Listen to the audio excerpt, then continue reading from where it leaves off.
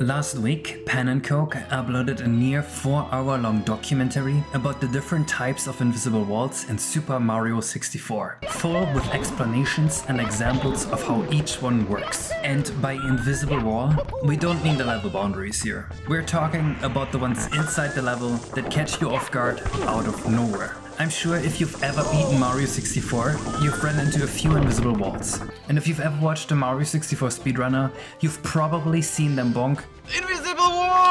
These can be really annoying to encounter, and seeing his video made me realize that we in the modding scene have been fighting against these invisible walls for over a decade now. So let's talk about what we do on the modding side to avoid them. I won't be as elaborate as Pannen in explaining how invisible walls work, but I'll give you a short recap when appropriate. There are two main types of invisible walls we care about. Invisible walls from exposed ceilings and invisible walls from out of bounds areas.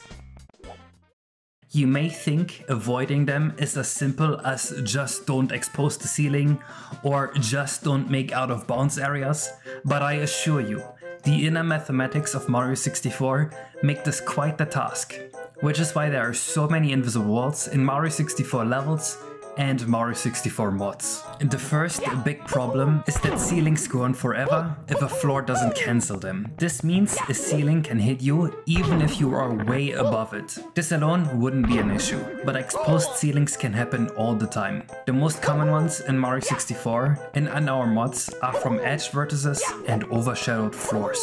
Take a look at these two hills. Both of their geometries would look fine at first glance, but it turns out some ceilings bleed through the floor and hit Mario here. As you can see, it's not very intuitive when an invisible wall appears, and it can often be difficult to prevent. Misaligned edges come from the fact that Mario 64's collision vertices are all rounded to a whole number. This means that if you draw a line, that isn't axis aligned like this, the ceiling can poke out a few coordinates and create thin invisible walls in this triangular block. Though, if it is axis aligned, there will never be an invisible wall, because the rounding won't move the vertex. The most obvious and simple fix here is something I've implemented a long time ago, which is to make ceilings cut at their highest vertex. This worked well enough as it cut the ceiling short. An even better fix is to cut a ceiling's hitbox where the ceiling ends. The most obvious thing ever. This was a patch Frame Perfection made a while ago. Why would the ceiling even be infinitely high whenever they aren't cancelled by a floor? That is weird, right? The reason is, when Mario checks for ceilings, he doesn't check for the lowest ceiling above him. He checks for the lowest ceiling above the floor that he is above. This means that if you're all the way up here, the raycast secretly starts here, which means the game will find the ceiling down here as Mario's current ceiling. Since the game wants Mario to never be inside a ceiling, and Mario is roughly 150 coordinates high, the game then determines that there is some huge negative amount of space between the floor and Mario's current ceiling and thus determines that Mario should not be allowed to move forward. I have no explanation for why they did it this way, because it just costs more performance and it is kind of counterintuitive and it introduces a lot of invisible walls. But by just starting the raycast and Mario's location, you get rid of all the exposed ceiling invisible walls and also get a minor performance boost. Also, while we are at it, the overshadowed floor bug is fixed as well. This was a programming bug that would find the floor whose first vertex was the highest rather than the floor that is actually below Mario. This bug is super easy to run into when making mods, but it also appears in the original game a few times. I'm sure the developers were aware of the square and actively worked around it when they made their levels. The simplistic geometry of Mario 64 made encountering this bug pretty rare, but there is a few places where you can find it. The easiest being here in Lethal Lava Land. Frames fixed alone fixes about half of the invisible walls already in Mario 64 and I'm sure people would love a patch of Mario 64 that does nothing but remove those. So someone go and get on that. Either way, this still leaves out of bounds invisible walls, so let's see what we can do here. The misaligned edge vertices that cause exposed ceilings will still cause exposed out of bounds sections, so we need to be extra careful on levels that don't have a death floor. Unfortunately, there is no smart code solution here. We have no easy and cheap way to discern the difference between a genuine level bound and a modeling error like this. Of course, the easiest possible fix is to just add an extra vertex here in the collision map and align it. This will cause both vertices to be rounded to the same unit and cause the exposed area to be removed. Unfortunately, extra vertices means extra RAM used and extra performance used, so this solution is not ideal. What we can do instead is overflooring, where we move the floor just one or two units too far. This won't introduce any performance penalty, and it lets us avoid the invisible wall. There's another 3D modeling error that is very easily made, and that is corner misalignments.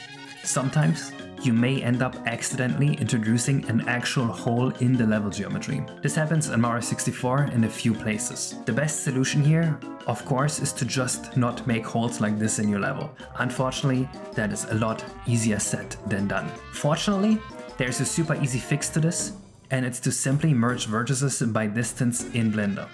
This will find any obvious hole, and honestly, if any such small geometry exists in your collision map, it's most likely safe to remove it anyway. Collision models really don't need to be that accurate anyway. In most modern games, they just make a very inaccurate convex hull. And just look at how inaccurate collision maps are in other games.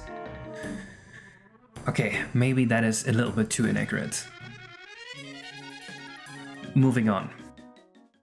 So with these fixes, if we never mess up ever, we will fix all the invisible walls. But of course, that is not realistic. So we have a few more tricks up our sleeves. The first is that I've switched to a custom step function. If you've ever watched a Pannenkoek video, you know that Mario moves in quarter steps. I've replaced this with a custom step function where Mario moves just one step and then error corrects. This means that there's just one fourth the opportunity to hit an invisible wall, plus if you hit an out of bounds invisible wall, all that would happen is that your step becomes 1.5% short. You wouldn't actually bonk on it. 1.5% is also the max error that this new step function has, compared to the vanilla game's 25%. It's also about 3.5 times faster than vanilla Mario 64's collision due to some cool tricks, and it has a bunch of other cool features to make movement less jank. I have a short clip on my second channel if you want to see more about this, I will link it in the description. But that is still not enough, we've only mitigated it in the previous step. We need to be absolutely sure that there are no invisible walls, so we have another line of defense. Debugging. If you've watched Pannen's video, you've seen him visualize the invisible walls. I couldn't get my hands on the specific code he used, but I've taken inspiration from that and I wrote a quick and dirty invisible wall finder. This code lets me know where the nearest invisible wall is and it makes it pretty easy to track down any holes that I may otherwise miss. I can then use all our modern knowledge to simply fix the geometry and make the invisible wall disappear. I tried this code just this week and it's already helped me find two invisible walls that are so small that with my new step function, I didn't even manage to bump into those yet. But I know that they're there, theoretically. I've honestly not bumped an invisible wall for the last 6 months in my game, so I wasn't exactly desperate for this, but hey, it's still good to have an extra layer of protection.